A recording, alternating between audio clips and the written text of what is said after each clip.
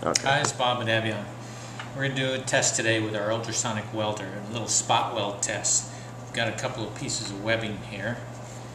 Um, I think they're polyethylene. And we're going to go ahead and uh, try and weld those together with some spot welds. Right now I just have a flat tip on here. And it's set for 100% amplitude in 2 seconds. Whoops, went right through it. So I got to reduce my time on that one.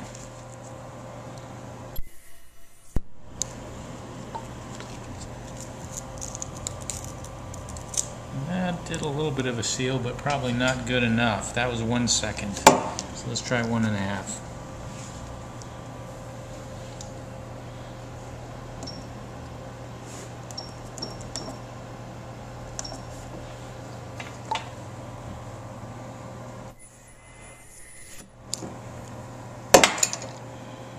Can see it sort of melted right through on the other side. So that's going to be held together pretty well right there. So we might want to back it off just a little bit.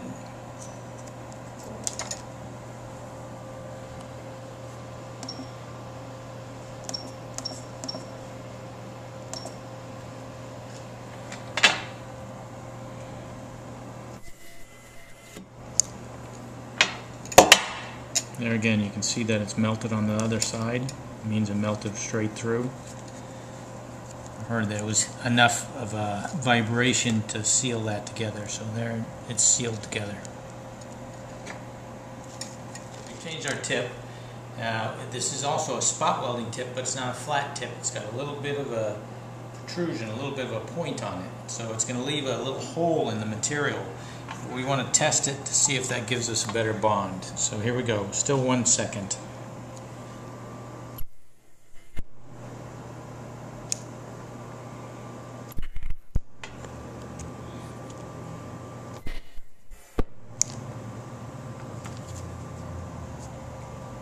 Okay.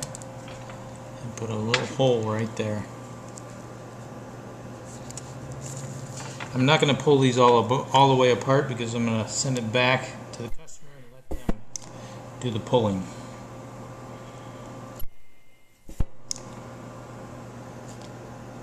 It's going right through. Actually, I'm going to back the time down a little bit.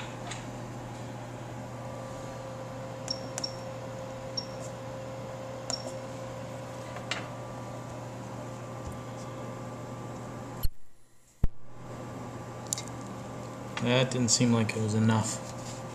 Well, maybe it was.